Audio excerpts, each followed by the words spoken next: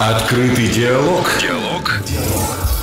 С Александром Непомнящим. Наш эфир продолжает очередная встреча с Александром Непомнящим. Здравствуйте, Александр. Добрый день, здравствуйте.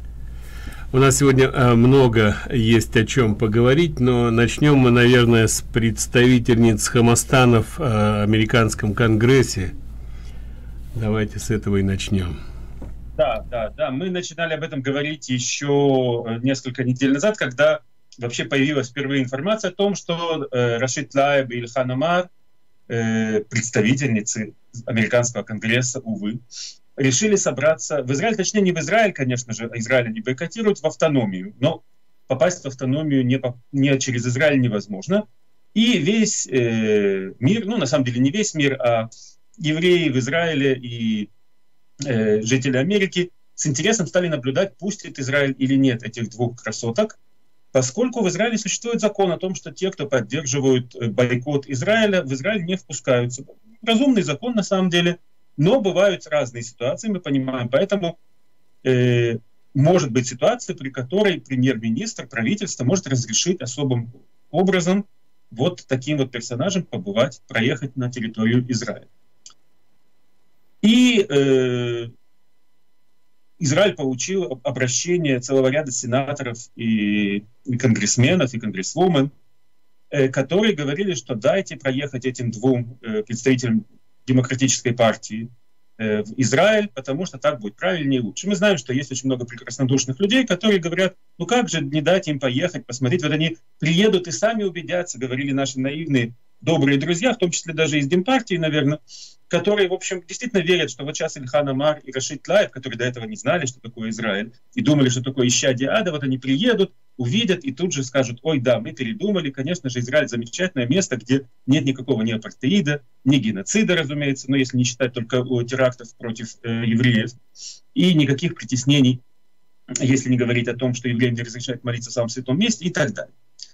Я полагаю, что э, Натаньяу склонялся именно к такому подходу, просто зная Натаньяу, его, под, его как бы видение ситуации, то, как он решает вопросы. Мы знаем, что он не любит э, идти на конфронтацию, и он предпочел бы, чтобы они приехали, они бы, конечно, бы открыли здесь свои грязные рты, они бы сказали какую-то гадость на Израиль, и, конечно, бы ни, ни в каком месте бы даже не признали, что они не видят того, о чем они говорят. Но, в общем, для многих э, людей, как бы немножко отстраненных, наблюдающих за этим со стороны, наверное, это было бы, да, действительно, какой-то странный апартеид в Израиле, если вот израильтяне так э, радушно предложили проехать, посмотреть, и, так сказать, мы не, ни Рашид Лаев, ни Ильхан Амар не сумели продемонстрировать скальпы замученных, умученных э, младенцев арабских и так далее. Но тут и наоборот, если мы не пропустим, то будет много всякого такого брожения, все будут говорить, ах, этот Израиль, вот он, ему есть что скрывать, будут говорить некоторые наивные люди. И будут говорить, ах, Израиль, он, наверное, э, он поступил неправильно, так не поступают по-настоящему э, уверенные в себе и так далее. И я думаю, как я уже сказал, что Натаньяу склонялся к тому, чтобы пропустить их, но тут Трамп публично сказал, хорошо бы, если бы Израиль не пропустил бы этих двух э, дамочек к себе. И, в общем, Израиль оказался в ситуации, в которой, ну вот как Трампу отказать в этом после Иерусалима и после Голланд, и после того, как он выгнал из Вашингтона представителей э, ОП, и после того, как он урезал деньги э, арабам и те, которые идут на террор против евреев. И после всего того, что он сделал, понятно, что это, конечно, была просьба, по сути дела, втягивающая Израиль в, э, в американскую политику. С другой стороны, Израиль, сам того не желая, был уже давно втянут демократами в американскую политику, потому что сегодня, если раньше мы знали, что есть вопросы, в которых республиканцы и демократы различают, э, различаются, но то они, собственно, две конкурирующие партии. Но в отношении к Израилю и те, и другие всегда, по крайней мере, публично говорили, что они поддерживают Израиль. И мы знаем, что демократы все больше и больше, точнее, все откровение и откровение отказываются от этого. И все чаще и чаще они упрекают Израиль гораздо больше, чем э, защищают. И в то время как, наоборот, республиканцы становятся активными защитниками Израиля.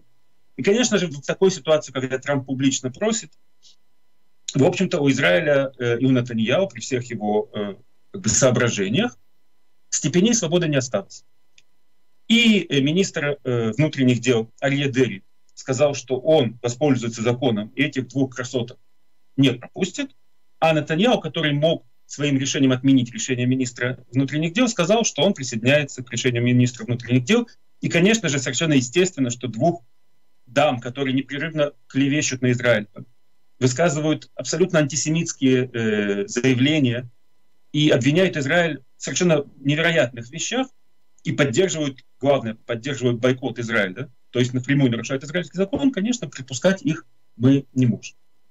Ну и тут же, конечно, э, левые, которые уже начали с момента, с момента твита Трампа уже понимали, к чему все идет, подняли невероятную истерику в Израиле, в США. Ах, как так можно? Это же совершенно недемократично, это ужасно некрасиво. Как же теперь они попадут в Израиль? Вот они не узнают теперь, какой замечательный Израиль поют те, которые говорят, что они наши друзья. И э, Израиль э, разрывает отношения с Америкой, поют э, те, которые хотели бы, чтобы Израиль и Америка не дружили бы, так было бы им проще прогибать Израиль. Но пока у них этого не получается, и э, Нэнси Пелоси э, разрыдалась и сказала, что это так неправильно, и что Израиль портит отношения со своими друзьями-демократами. На самом деле, вот я больше чем уверен, что в глубине души Нэнси Пелоси хихикала от радости и подпрыгивала на своем стуле, потому что ей эти клоунессы, еще вместе с Акасио, приносят гораздо больше э, неприятностей, чем кому бы то ни было. Потому что, ну, и они говорят гадости об Израиле, эти, это троица. Так говорят. Про нас много кто говорит гадости. Если не может дотянуться до нас ракетами, так, ну, в общем, нам и дела нет. А у Нэнси Пелоси э, партия просто превращена в какой-то клоунский цирк. И Нэнси Пелоси при всех своих недостатках все-таки старалась, чтобы ее демократическая партия была конкурентоспособной, чтобы она э, обладала какими-то э, ценностями в глазах нормальных, меняемых американцев и могла соревноваться, конкурировать на выборах. А эти э, три девицы постоянно высказывают какие-нибудь э, вещи, после которых человек с минимальным э, мыслительным аппаратом просто говорит, ой-ой-ой, подальше от них, как бы я там не, не, не, не любил бы Трампа, и как бы я не боялся республиканцев, как бы я... Но это же просто сумасшедший дом. То есть, когда ты выбираешь между политиком, которого ты не любишь, и сумасшедшими, от которых можно ждать чего угодно, типа Акасио с ее программой озеленения американской экономики, э, понятно все. И поэтому Нэнси Пелоси, наверное, очень не любит эту троицу. И э, тут, когда им, так сказать, щелкнули, щелкнули по носу, я думаю, что она в глубине души страшно радовалась. Но, конечно же, она не пропустила возможность ткнуть Израиль, потому что в данном случае она не столько обижала Израиль, критиковала Израиль, сколько Трампу шпильку вставляла, поскольку вот, вот какой плохой Трамп, говорила она, что вот он вносит э, американскую политику в наши отношения с Израилем, а Израиль, мол, поддался, повелся на это, а вот будут выборы, а вот не будет Трампа, вот вы тогда узнаете. Ничего, переживем и будем надеяться, во-первых, что Трамп будет после 2020 года, а, и, а потом будет не Трамп, но будет кто-нибудь из его же команды. Ну и кроме того, конечно же, переживем это. Э, и действительно, на самом деле, Натаньяу заметил, что, ребята, да у нас на прошлой неделе, вот на прошлой неделе действительно меня спрашивали, тогда даже был еще не в курсе, 70 конгрессменов приехали в Израиль, и демократов, и республиканцев, там наверняка были и друзья Израиля, и, и, и совсем не друзья Израиля. Они приехали, их встречали как гостей, потому что действительно Израиль все время подчеркивает, что Америка наш самый лучший друг. И, конечно же, мы с уважением относимся к тем, кто был избран в Конгресс и в Сенат это избранник американского народа. Американский народ нам друг, и даже если вы избрали каких-то людей, которых нам, может быть, мы не, не, не очень и не нам нравятся, мы их все равно будем принимать как дорогих гостей. Это то, что было на прошлой неделе. Но эти клоунессы, при том, что их, в общем, получается, как бы избрал американский народ, хотя это, конечно, большой вопрос, какая часть американского народа избрала этих клоунесс, но, тем не менее, в общем, Сандерс, конечно же, сказал, что пусть теперь Израиль не берет нашу помощь. Какая связь между тем, что не пустили двух этих самых э, злобных э, ведьмочек и э, деньгами, которые Америка выделяет на совместные оборонные проекты с Израилем, а потом получает их огромные дивиденды, потому что на эти деньги разрабатываются вещи, которые потом Америка сама использует, военные технологии, не говоря уже о политическом влиянии на Ближнем Востоке и всем остальном. Но что с Сандерса опять же взять?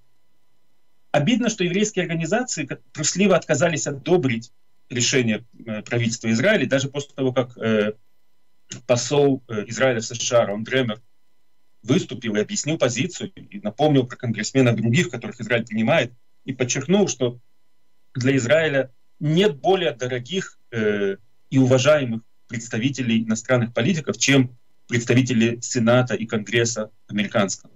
Но тем не менее есть ситуации, в которых мы не хотим их видеть.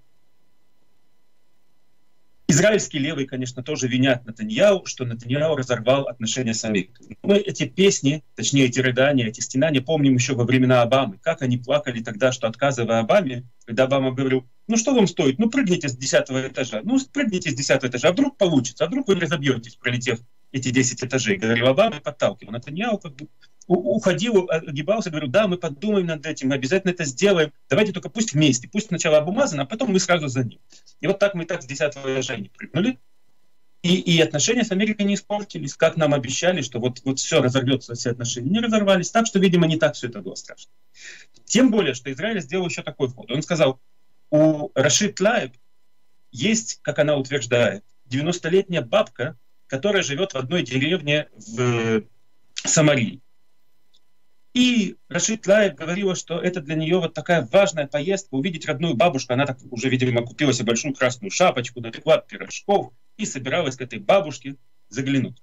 И Израиль сказал, знаете что, мы все-таки на самом деле гуманное государство, закон законом, но если Рашид Лаев скажет, что она хочет увидеть свою бабушку, и она нам напишет бумагу, что она обязуется не открывать свой поганый грязный рот, так не было написано, это я добавляю, и говорить о, э, призывать к бойкоту Израиля, так было написано про бойкот, то мы, пожалуй, ее из гуманитарных соображений пропустим. И Рашид Лайб сначала, поскольку, в общем, мозгов у нее немного, и она просчитать два хода вперед, видимо, не очень умеет, она эту бумагу подписала и сказала, да, значит, там что-то, я обязуюсь вести себя хорошо, я буду хорошей красной шапочкой, буду носить красную шапочку, нести пирожки, и только вот родную бабушку 90-летнюю должна увидеть, пока она не отправилась туда вот служить гуриями, видимо, в мусульманский рай. Она подписала это и тут же, конечно, подверглась астракизму со стороны своих сторонников, которые хотели экшена, которые начали говорить, а зачем ты вообще тащишься тогда? Если не будет экшена, если не будешь говорить гадости про Израиль, если не будешь показывать трупики убиенных младенцев, замученных израильскими солдатами, размазывать слезы по лицу, зачем ты вообще ты тогда нужна нам? Тогда ты будешь наша предательница. Рашид Лайб, конечно, испугалась, и сказала, что бабушку она видеть не хочет. Но Израиль сказал, не хотите и не хотите. Министр внутренних дел Ариедели сказал, ну если ненависть к Израилю перевесила любовь к бабушке, то что уж мы тут можем сделать. Вот. Э, кстати сказать, э, параллельно вот э, со всем этим, на самом деле это немножко другая тема, но в последние дни очень активизировался террор. То есть мы на самом деле в последние месяцы, даже год, может быть больше, полтора года, в общем-то, уровень террора не был высоким. И сейчас одно за другим. То какие-то э, малолетние бандиты с ножами бросаются на полицейских, то сегодня на машине пытался задавить э, пару брата и сестру, стоящих на остановке в Гушиционе. До этого еще один теракт. Снова полетели эти заж, зажигательные шары из газа. Снова какие-то банды прорываются из газа. И более или менее понятно, что это все не просто так. Не то, что жара израильская ударила в голову террористам, это Иран мутит воду, Иран раскручивает. И вот сегодня, буквально за несколько э, минут до начала нашей передачи, была запущена из Газы в сторону Израиля ракета. Эту ракету удачно сбила наша система противоракетной обороны. И кто-то из шутников уже в Фейсбуке э, написал, что это Рашид Лай пыталась пробраться в, к своей бабке. Но вот не удалось. Так или иначе, э, эта эпопея закончилась. Конечно, я думаю, еще несколько дней э, левые в Израиле и в США будут размазывать слезы и сопли по лицу и говорить, что Израиль совсем утратил чувство гуманизма и не пропустил этих двух э, прекрасных, замечательных, добрых девушек в, на свою территорию. Ну а потом все забудут, и двух клоунест лишили возможности устроить очередное шоу. Им, конечно, это будет обидно, но, в конце концов, я думаю, справедливость восторжествовала, и я очень этому рад. Замечательно. Ну и теперь давайте перейдем. Я на всякий случай напомню, телефон в студии 847-400-5200. Если будут вопросы, то, пожалуйста, звоните и задавайте. А ООН заинтересовалась антисемитизмом Махмуда Аббаса. Вот если можно да, об этом. Тоже, тоже на этой неделе очень забавная, очень интересная тема. Ведь как обычно в ООН все происходит, особенно в этих комиссиях по правам человека. Там зачитывают какую-нибудь очередную э, писульку против Израиля, говорят, э, злобные израильтяне угнетают пингвинов. Почему пингвинов неизвестно, но угнетают пингвинов там, или угнетают или что-нибудь еще такое страшное сделали, и все автоматически подписывают, и возникает очередная резолюция, которую он плодит, просто штампует как э, на конвейере. А значит, государство Палестина, такого, это, конечно, как государство, я не знаю, как государство Нарния, как обитание какая-то, но вот есть она на бумаге государство Палестина, имеется в виду, конечно, не Израиль, который находится в Палестине, если по-европейски говорить, а имеется в виду Рамальская ОПГ под руководством Махмуда Аббаса, которая вокруг Рам, Рамалы там сидит. Так вот, его приняли в свое время в ООН, и он время от времени там тоже что-то такое буль, булькает, но э, они же, э, как бы он, что могло сделать этому как бы, государству, которое не существует на самом деле? Что он могло, как оно могло его еще возвести? Оно ему дало возможность подписать всякие международные декларации. Типа там подписаны такие страны, как США, допустим, Бразилия, реальные большие страны, Израиль маленький и государство Палестина. Вот. И, э, конечно, они подписывали радостно все, что только им давали подписать, особенно не читая мелкими буквами, что же там написано. И подписали они штук 10, 9 говорят, резолюция о защите прав человека, о борьбе с антисемитизмом, ну, в общем, все, что, все красивые слова. Конечно же, они никогда не задумывались над тем, что они подписывают. И уж, конечно, никогда не думали, что кто-то их за это начнет жучить. Потому что в, в те времена, когда Обама рулил Америкой, соответственно, он могло поливать грязью Израиль, как ему заблагорассудится, как случается при демократах нынешних. Конечно же, никто их не спрашивал, а вот вы там подписали, что антисемитизм это плохо, и ксенофобия плохо, и вообще женщины права надо уважать немножко, иногда хотя бы. Вот другие страны, они, они не уважают, так они не подписали, вы подписали, вы там соблюдаете. Но никто таких вопросов не задавал. Они, по идее, должны были э, сдавать отчеты, подписав эти декларации. Но, конечно, подписав это все в каком-то там э, в середине э, десятых годов или даже, я вот тут смотрю, в, в начале 2000-х годов, они, конечно же, никаких отчетов не сдавали. И сейчас ситуация изменилась. В Вашингтоне другая администрация. И кто-то, видимо, э, сказал, а давайте-ка мы проверим, чего там они подписывали и как они отвечают за свои подписанные слова. Их стали подпинывать. Давайте доклады те готовили доклады очень долго, собственно, вот с 17 там, 18 года. Но, наконец, в марте 19 года они какие-то там писульки написали. Конечно, эти писульки заглядываешь, там сплошное очернение Израиля. Там Израиль расист, Израиль то, Израиль все. Про них, про самих они ничего не, не, не написали. Но израильские, точнее, международные еврейские правозащитные организации, скажем так, произраильские организации, которые научились этому птичьему языку про право правозащитническому, и стали, э, и главное теперь, кроме того, что они учились этому языку и составили правильные запросы, теперь в этих организациях ООНовских сидят правильные люди, потому что не только в Америке изменился климат, в Бразилии тоже пришло правительство вменяемых, разумных людей, которые говорят, так, наоборот, Израиль же хороший, а вот эти все сумасшедшие, они просто какие-то кровожадные людоеды. И их представитель, и раньше Бразилия, конечно, в жизни этим не стала заниматься. А тут бразильская представительница взяла документы, которые ей, отчеты, которые предоставили произраильские организации, про то, как э, нарушаются права э, человека в автономии, права женщин, права диссидентов местных, про то, каким махровым антисемитизмом дышит каждая страница учебников, которые они составили на европейские и американские деньги.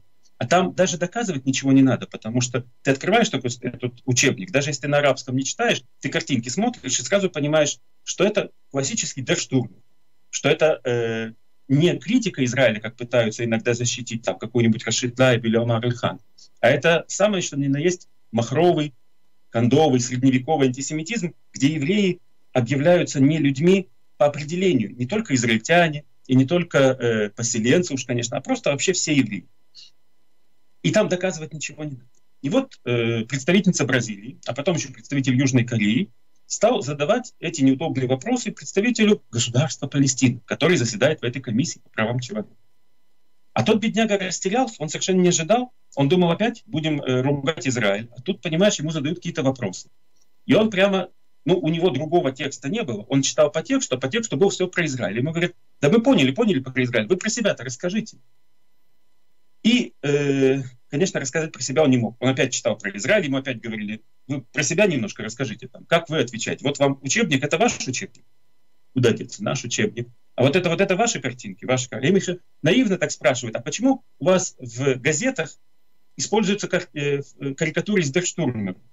Вы типа не знаете, что ли, что за такие вещи тут некоторое время назад повесили некоторых э, особо активных немцев? В общем, э, представители государства Палестины были э, немножко испуганы и растеряны. Э, про израильские правозащитные организации говорят, что это беспрецедентно, такого еще никогда не было. Явно климат меняется. Но ООН организация бюрократическая и э, долгая. То есть э, им сказали, ну, ребята, что-то ваши объяснения как-то не прокатывают, вы нам напишите что-нибудь, чтобы мы потом могли рассмотреть. И вот заключительные замечания, они к концу месяца. То есть понятно, что э, больше вероятность того, что все это спустится на тормоза. Но может быть, кто знает, теперь все меняется, все по-другому. И может быть к концу месяца мы услышим, э, увидим, будем, э, станем зрителями второй части этого марлезонского балета, когда э, представители государства Палестины э, будут даже вдруг осуждены за антисемитизм в своей образовательной программе, за притеснение прав э, женщин, гомосексуалистов и так далее. Посмотрим, посмотрим. Все меняется, мир меняется, и, безусловно, время Трампа приносит нам совершенно удивительные возвращения к здравому смыслу. А в это время внучка покойного Ицхака Рабина, но Ротман, встречается, обнимается с Абумазаном под Да, да, безусловно. То есть, и самое главное, ведь э, самое главное тут вот что. Когда э, израильские разумные люди говорят, Господи, что же это такое? Ну что, что, что она там забыла? Ну хорошо, ты представительница левой партии. Ты за все хорошее против всего плохого. Но зачем ты лезешь обниматься с Абумазаном? Он же террорист, он убийца, он подстрекатель, он антисемит. Он выдает пенсии и, и награды тем, кто убил евреев. И кто убил евреев больше, он тем больше денег дает. И Америка уже перестала им платить из-за этого. Израиль тоже должен был бы перестать, но как бы, Израиль в этом смысле более инертный.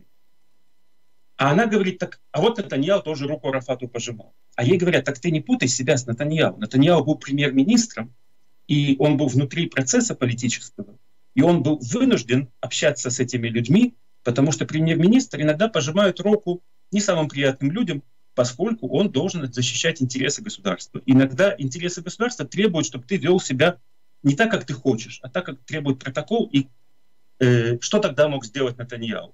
Не пожать руку Арафату, поссориться со всем миром, стоять против и Америки, и, и, и западного мира, и вообще всего остального мира. Но он был премьер-министром. А ты, девушка, представительница какой-то э, нерелевантной партии, причем номер в списке, который не факт, что еще и пройдет. То есть заднескамеечница в какой-то малозначимой радикальной экстремистской партии. Ты никто и звать тебя никак. И когда ты едешь пожимать лапку террористу, то здесь нет никакого политического, э, политической необходимости. Ты не государственный представитель. Ты едешь, потому что тебя душа к этому лежит. Другими словами, твоя душа лежит к убийцам евреев, к антисемитам, к тем, кто раздает награды за убийство евреев. И вот это в этом твоя суть. И, конечно же, именно поэтому сегодня те партии, которые представляют вот эти вот одиозные люди, э, внучка Рабина, Ихуд Барак, это партии, которые находятся на, на задворках израильской э, политики, и перед выборами основная левая партия, бело-голубые, они всячески от них открещиваются, ну, открещиваются, может, не самое удачное слово, от, э, от э, Маген Давидеваются, от, и от, отторгают от себя, говорят, да нет, мы не такие, мы на самом деле мы правы, и только, только мы немножко левы, кривы, вот, но мы на самом деле правы, вы не думайте. И таким образом э, в израильском обществе сегодня э, левизна, она не то, что не в части, ей как бы неудобно, неприлично. Это как э, э, прилюдно издавать неприличные звуки э, на публику. Но такие люди есть, увы. И вот они показывают нам, напоминают нам, кто они и что они. Я в этом смысле думаю, что это очень хорошо, что она поехала сейчас и пожала лапку этому террористу, потому что если кто успел подзабыть за, время, за 10 лет правления Натаньяу, когда мы почти что, в общем, не чувствовали этого влияния левых, вот нам напомнили, кто они, что они себе представляют и что они могут натворить. Александр, давайте попробуем принять звонок. Добрый день, пожалуйста, в эфире. Алло, здравствуйте. здравствуйте. Э, вот лет 15 назад, может больше, Виктор Либерман, на мой взгляд, выдвинул э, разумную идею э, по урегулированию э, э, конфликта между Израилем и арабами. И в качестве примера он привел э, Кипр, где турецкие и греческие общины разделились, и каждое население турецкое и пошли они на свою сторону острова. И теперь уже как 45 лет там мир и согласие, и нет войн. А до этого они вот тоже так же сражались между собой, как у вас продолжается уже 70 с чем-то лет. Вот э, придерживается ли тоже того же самого э, Либерман сегодня, или же он, Поливев, э, уже меняет, э, поменял свое мнение? И не кажется ли вам, что он все-таки был прав? Лучше иметь врага перед носом, чем за спиной. Спасибо. И, значит, э, два, вы задали два вопроса, на них два ответа. Начну с последнего. Придерживается ли Либерман тех идей, которыми он, которыми он жонглировал 10-15 лет назад?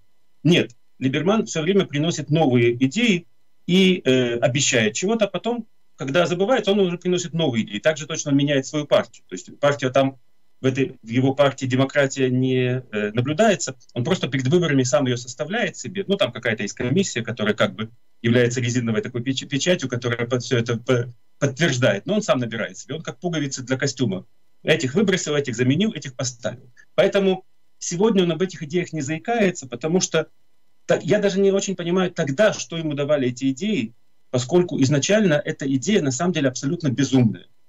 Э, я не знаю, было ли это удачно и правильно в отношении греков и турок, потому что, как мы знаем, в итоге турки захватили часть Кипра, и до сих пор вся эта проблема не решена окончательно.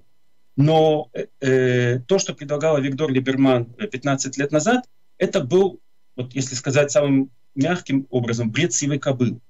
Потому что он говорил так, мы сейчас э, тех арабов, граждан Израиля, которые компактно живут э, в Нижней Галилее, мы их, их землю передадим автономии, а за это там аннексируем какие-то кусочки Иудеи и Самарии.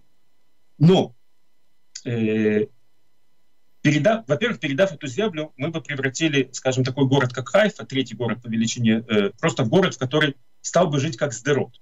То есть его бы обстреливали буквально вот с нулевого расстояния, террористы из э, наплечных ракет по городу, по нефтеперегонному заводу и так далее, потому что там близко. Но главное это не то. то те самые десятки, э, может быть, пару сотен тысяч арабов, которые там компактно жили, они же граждане Израиля. Вы что думаете, что они бы остались на этой земле переданной э, автономии, в которой э, никто жить не хочет, потому что там бандиты правят? Они бы сказали, нет, нет, нет, нет, нет, мы граждане Израиля, вы должны нас забрать к себе. То есть Израиль бы отдал землю свою, и, но, но от этих арабов бы не избавился. И только в демагогических э, построениях Либермана, которые апеллируют к людям, которые не понимают даже самых простых вещей. То есть его избиратели — это люди, скажем так, с очень простым восприятием. Они воспринимают только первый план. Им говорят, я покончу с лидерами Хамаса 48 часов, и они верят в это. Потом проходит 48, 72 часа и еще больше — ничего не происходит, но они уже забыли, им уже можно рассказать другое. Я покончу с религиозными евреями, как говорит сейчас Либерман, обещая расправиться с религиозными евреями и превратить Израиль непонятно во что. То есть, может быть, в копию Советского Союза, где религия была запрещ... Э, отделена от государства достаточно жестко. Или, или просто сделать его нееврейским государством, если запретить еврейскую религию. Или просто мы будем выдергивать э, бороды этим людям и, и расстреливать их на площадях, не очень понятно. Но его публика, его избиратели не задумываются над такими вещами. А уж тем более такое сложное построение, как то, что граждане Израиля арабы. Э, Израиль бы при всем желании не мог бы взять их и просто сказать, мы отдаем их другому государству. Мужчин, женщин, детей, пожилых, стариков, инвалидов, людей, которые получают пенсии от государства Израиля. Мы бы не могли это сделать. И они бы все остались бы в Израиле, при том, что Израиль бы отдал землю. О таких вещах, я думаю, что Либерман-то сам прекрасно понимал бредовость своих э, инсинуаций. Но его избиратели, конечно, люди простые, они таких вещей не понимали. И, э, но сейчас он их не, не вспоминает, потому что сейчас, в общем-то, его электорат строится из э, очень-очень э, неабсорбированных, то есть абсолютно не прижившихся в Израиле бывших репатриантов, которые могут жить много лет в стране, но при этом не говорить на иврите совсем, они просто вообще не представляют, где они живут, живут в таких своего рода гетто в крупных израильских городах, закрывшись с русскими магазинами, с телевидением из, Советского, из России, с газетами на русском языке, неграмотными, и людьми, которые больше всего ненавидят на свете евреев, в том числе религиозных евреев. Вот этой публике сегодня вот эти рассуждения про арабов вообще не интересны. Им интересно, когда они уже смогут устроить погром религиозным евреям. И об этом как раз Либерман, в общем-то, на своих, в своей программе сейчас, на своих выбор, предвыборных э, заявлениях и строит свою кампанию. Вот как-то так. Давайте мы сейчас сделаем небольшой перерыв, после чего вернемся и продолжим. Возвращаемся к беседе с Александром Непомнящим. Телефон в студии по-прежнему 847-400-5200. И давайте, наверное, попробуем принять звонки. Хорошо. Добрый день, пожалуйста, в эфире. Алло, здравствуйте, Александр. Ну, я примерно, у меня два вопроса. Первый вопрос, я примерно месяц назад вам задавал, как обстоят дела в Израиле, ну, с развитием э, такого быстрого заряда электробатареи, как для машин, так и для айфонов. Э, там ими занимался такой Семен Лицын, изобретатель известный. А второй у меня ну. вопрос. Вот вы уже как-то раньше упоминали о том, что вот мы говорим, что жалко, что Фейглин не смог договориться, Зиут, что не смог э, Бенгвир договориться, а вот э, мы знаем, что есть такие примеры, когда вот эти договоры о соединении, наоборот, вредят. Вот как вот э, вы уже упоминали о союзе Барака с партией Мерец. Вот как вы думаете, вот тот же скандал с Эпштейном, знакомым Барака, не утянет ли вот этот мерец, э, Барак не утянет ли этот мерец в мусорную корзину, и эти голоса? И как вот и вот эта вот утрата общественного доверия не грозит Бараку в связи с такими знакомствами? Или израильские мейстримовские СМИ стоят на страже его интересов и все тихо и об этом ничего не говорят? Пожалуйста. Да. По поводу быстрой зарядки. Значит, э, ответ такой. Работа идет, но пока что ничего э, больше сказать э, не могут э, люди, которые этим занимаются. Ну, сами понимаете, техни- технологический процесс э, и без комментариев. То, что, то есть я спросил, мне сказали, идет работа, когда будет, все узнают. То есть пока что ничего такого нет. И по поводу вашего вопроса о бараке. Ну, во-первых, сам Эпштейн то ли повесился, то ли ему помогли повеситься, и э, свидетельствовать он уже не сможет. И даже если будут э, найдены доказательства, а пока что все это, в общем, свидетельские заявления людей, которым трудно поверить. То есть там много чего сказано, и трудно разобрать, где правда, где ложь. Но даже если будет известно, что Барак э, непосредственно участвовал в этих самых оргиях с малолетними, и, например, по американскому закону он будет, э, может быть, мог, может быть привлечен к ответственности. Я не знаю, можно ли по израильским, потому что он это как бы было не в, Израиле, не в Израиле.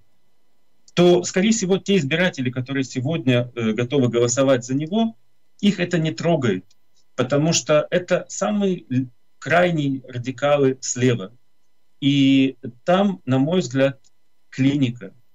Эти, пока Барак э, будет продолжать мантры о том, что нужно э, все отдать арабам, Израиль э, э, является захватчиком Иудеи Самарии и занимается апартеидом и геноцидом и все остальное, и наш лучший друг Абу Мазан, который, с которым нужно договориться о чем-то, пока он будет повторять эти мантры, то даже если выяснится, что он ловил детей и ел их, Э, они все равно постараются либо заглушить э, эту информацию, либо заткнуть уши и э, голосовать, потому что он правильную политику осуществляет с их точки зрения.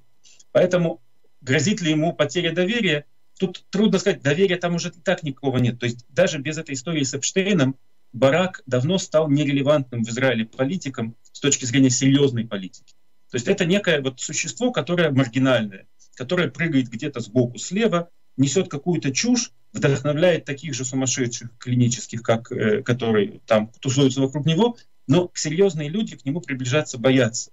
И это случилось еще до, до всей этой истории с Эпштейном, просто потому что он стал абсолютно неактуален в своих заявлениях, в своем поведении, в каких-то таких истерических выступлениях, которые не позволяют себе солидные политики. Поэтому говорить о том, что история Эпштейна может как-то ему еще больше навредить, чем он уже сам себе навредил, своей бестолковостью и нелепостью, я думаю, что уже больше не навредит. Давайте примем еще звонки. Добрый день, пожалуйста, вы в эфире. Здравствуйте. Вот насчет Либермана. Значит, он вообще очень похож на наших демократов. Такой же аморальный, такой же безнравственный, такой же лгун и э, как бы э, э ставящий на повестку дня то, что сегодня может ему помочь захватить, так сказать, власть в, в, в Кнессете э, в той или иной степени.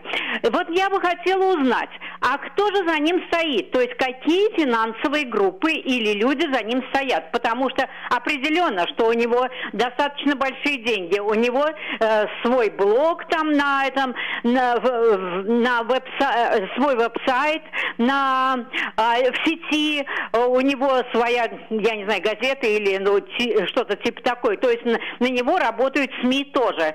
То есть кто за ним стоит? Спасибо большое.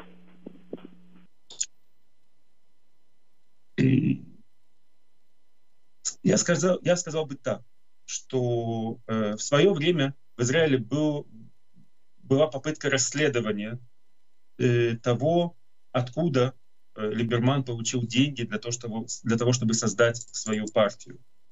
И это расследование в итоге не привело к каким-то э, результатам, э, потому что как-то свидетели, там кто-то исчез, кто-то э, погиб, другие свидетели не хотели давать свидетельские показания. В итоге дело рассыпалось.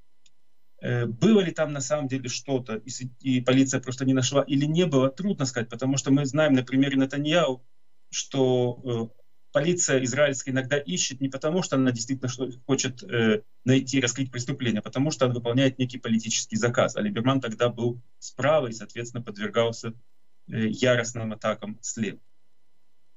Э, известно, что Либерман очень близок с Мартином Шлаф. Мартин Шлаф персонаж крайне любопытный. Я советую нашим читателям пойти в сеть и набрать Мартин Шлаф и посмотреть Мартин Шлаф и Либерман. Вы найдете массу интересных материалов, но, скажем так, не в русле мейнстримной прессы, и можно сказать, что э, мейнстримная пресса замалчивает это, можно сказать, что просто нет серьезных доказательств, а серьезные издания стараются без серьезных доказательств не публиковать какие-то вещи, чтобы не опускаться на уровень заговоров и, и конспираций.